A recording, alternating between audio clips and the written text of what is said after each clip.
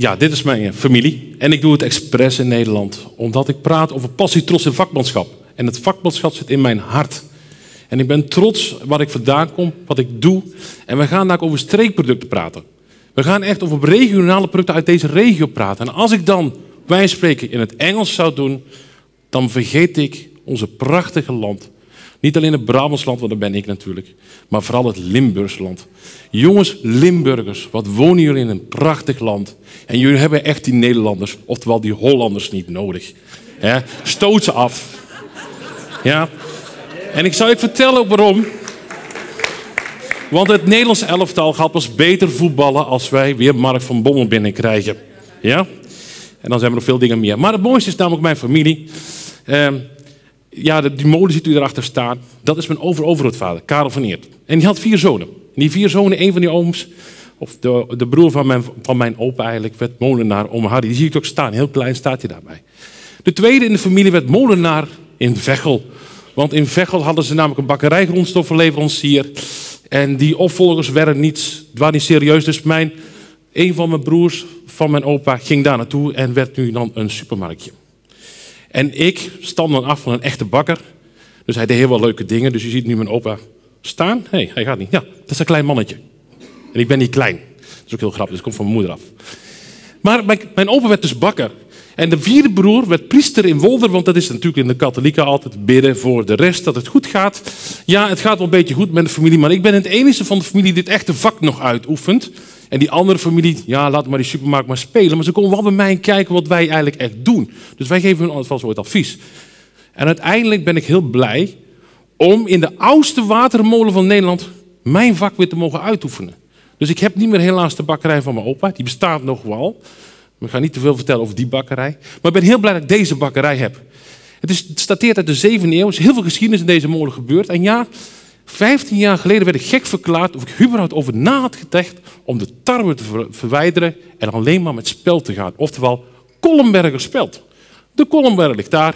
Huub woont daar. Ons Huub is mijn teler waar ik heel mee samenwerk. En bij de eerste dag, want ik heb ooit biologisch brood gebakken, lukt het allemaal niet zo. En ben ik met speld begonnen. Uiteindelijk is het natuurlijk heel leuk, want ja, er werd net verteld over de dingen. Uiteindelijk komt er ook een hele mooie wielenploegje binnengefietst.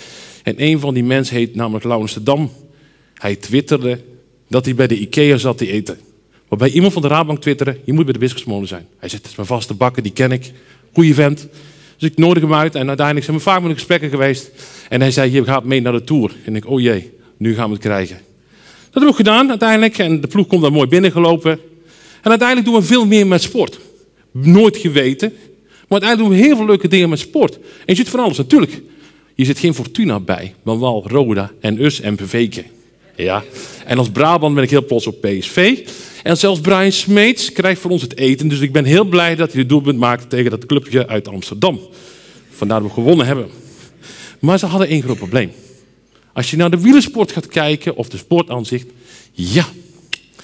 En natuurlijk denkt u aan deze meneer. Maar ik vertrouw deze meneer ook niet. Dan geloof ik meer die meneer aan de linkerkant. Hè? Uiteindelijk hebben we allemaal een grote crisis. Want die gekke meneer, en weet, ik weet nog niet nog steeds wat ik mee moet met die man. Hij is niet links, hij is niet rechts, maar hij doet iets anders. We hebben crisissen, over de wereld. Ik geloof niet alleen de Volkswagen, want ik krijg Volkswagen Kever, dat is voor mij de auto. Maar wij doen veel meer dingen. De bankencrisis hebben we nog steeds niet opgelost. Maar de wielersport of de sport gaat het wel doen. Maar dan vergeten niet onze voedingsbranche. Het programma Keurziens van Waren staat er ongeveer vol mee. En brood is geen brood meer. Is brood ongezond? Ja, brood is keihard ongezond. Als je het vast, snel en voet maakt, brood hartstikke ongezond. Maar als ik terug ga in de boeken van mijn opa, het echte brood bakken, het echte, echte brood maken is hartstikke gezond. Dus we moeten terug naar het echte, echte voedsel. En alsjeblieft, jongens, paardenvlees, lasagne. En ik kan je niet veel meer dingen opnoemen wat allemaal kunt gebeuren. Dat wilt u niet weten. Dus dit is het dode einde, jongens. Stoppen ze mee. Het moet anders. En dat heeft die misschien wel een beetje in de gaten. Het moet anders. Hoe dan? Niet op deze manier natuurlijk. Terug naar de foto. Ik ben meegeweest aan de Giro Italia. Geweldig. Geef me maar Giro Italia geen Tour de France meer. Giro Italia heb ik twee weken mogen koken voor Stefan Kruiswijk. Elke ochtend opstaan, vragen wat hij nodig had. Helaas geen brood, maar wel havermout. Maar dat maakt niet uit. Havermout is een graan en broodbakken van spelt is ook een graan, dus dat is dan goed.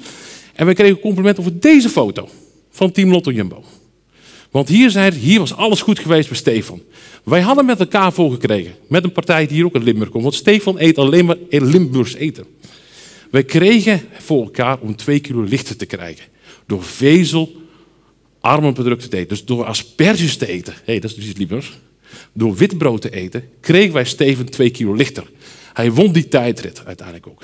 Maar u weet helaas ook, twee dagen voordat hij in Turijn zou aankomen, was hij te licht en boog hij de bocht uit. Gaan we toch iets anders doen de volgende keer, Steven? Maar ja, uiteindelijk zei Marcel Hesseling, dat is de diëtist, van wij gaan het anders doen. Frank, je moet echt voor mij in die tas, die tas die eruit komt, is voor de Tour de France toevallig. Daar zit mijn product in. Maak eens weer een sportbar zonder die chemische rotzooi. Maak eens een sportbar met, met biet, zonder biet en zonder rietsuiker. Wat ik gedaan heb, is appelsap gebruiken van Bemelhof. En appelsap van de Elster. Dus ik heb honing gebruikt van Sint-Pieter. Dus de meneer Rieu krijgen ze te horen. En uiteindelijk, daar ziet je brood, hebben allemaal lekkere dingen uit. En nu gaat een van deze producten heerlijk eten. Want hij zet uiteindelijk de kers. Ik heb een boompje bij me dadelijk en die staat niet voor niks, al daar. De kers is de powerfood van Limburg. Geen gombes, geen chiazaad, geen quinoa-vlokken. De kers. De kers, beter slaapkwaliteit, spierversterkend, ontstekend remmend. Het waren meer dan tien redenen waarom de kers gezond was. Dus ik denk, ja, dat zal die Marcel wel mooi kunnen praten. Ik ga toch even navragen bij de Universiteit van Maastricht. Ik heb gevraagd met Fred Browns, pas weer bij Raad op TV geweest. Klopt dit wel, dit verhaal van de kers? Ja, zegt hij, dat klopt. Het is een B-waarheid, noemen ze dat in de wetenschap. Moet veel meer onderzocht worden, maar het neigt heel veel naar waarheden. Ja, ga voor de kerst, zegt hij. Alleen één maar, zegt hij. Want Bemelhof teelt namelijk 37 verschillende soorten kersen in Bemelen. De morel moet u hebben. Zeg, oh, daar ben ik mooi blij mee, want zit in mijn vlaai. Dus de vlaai is gezond. Hey.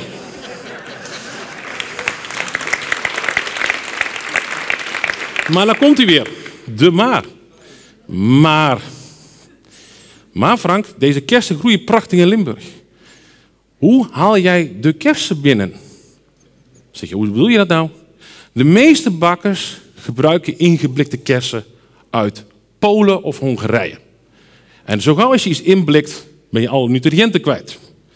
Er zijn zelfs bakkers bij om een donkerrode kersenvlaai te maken. Die gebruiken een heel mooi beestje uit Brazilië. Het kontje ervan om een donkerrood te krijgen. En ik zal je vertellen, u wilt niet weten hoeveel bakkers dat uiteindelijk zijn. Dus maak alsjeblieft gebruik van diepvrieskersen. Ik zeg, dat heb ik ook weer. Oh, gelukkig. Dan gaan we weer verder. Want dit is ons landschap, toch? Of niet? Ja, dat zou ik wel hopen. Dat had ook Polen kunnen zijn, hè? Dat had ook Hongarije kunnen zijn, hè? Maar gelukkig, we kunnen een beetje zien, dit is ons landschap. En Ben is nou eens trots op ons landschap. Want alle toeristen komen naar Limburg voor het landschap. Het genieten van het echte eten. En ik heb net gezegd, het echte eten, het echte, echte Limburgse eten, hartstikke gezond. Maar dat nep eten van Limburg niet. Dus ga voor het echte, echte eten. Ben trots dat je Limburger bent. Je bent het beginpunt van Europa. Niet het eindpunt. Dan moet die witte man nog snappen uit Venlo. Beginpunt. Ja? Ik ga nooit in de politiek, maar die man heeft niet mijn stem, heeft hij al in de gaten. Dus dit landschap is geweldig. Dus daar komen de mensen voor. Voor dit soort dingen. En uiteindelijk, ja, raadsmelken. Er zijn meer dan 1 miljoen mensen die namelijk doen fietsen door het Limburgs landschap. Amstel Gold Race. Limburgs mooiste. Gaan we verder. Wandelen, rennen, recreëren. Maar ja, wat zijn we aan het doen in Limburg? In 2005 hadden we nog 600 hectare aan deze prachtige kersenboom staan. Dit jaar nog maar 300. Wij zijn met z'n allen, omdat we steeds voor het goedkope gaan en niet voor kwaliteit, gaan voor kwantiteit. Voor kwantiteit kopen we de kersen uit Polen. We denken en we vragen niet aan de consument, wat bent u aan het kopen? Waarom haalt u vandaan? Kies voor een kersenboom uit je regio en haal alsjeblieft die landschap overheid. Dat doen wij niet. Dus mijn oproep is uiteindelijk iets anders. Dus ik ben teruggegaan in andere renner. Natuurlijk, ik zei naar Stefan, heb ik ook geholpen. Sinds kort heb ik een nationale held erbij. Dat is onze Tom Dumoulin. Heel leuk gesprek gehad met Tom over alles en nog wat. En uiteindelijk zei Tom, ja, ga terug naar het eten, want wij eten ook niet die powerfood meer. Ga terug naar de bron van het echte eten, want dat brengt ons leven. Dat brengt ons vreugde. En ook hij heeft een kersenboom opgezet in zijn tuin. Dus ik roep u alsjeblieft op. Met z'n allen. De nationale powerfood is de Limburgse crest. En als u dat niet doet, dan krijgt u dit in Limburg. Tot ziens.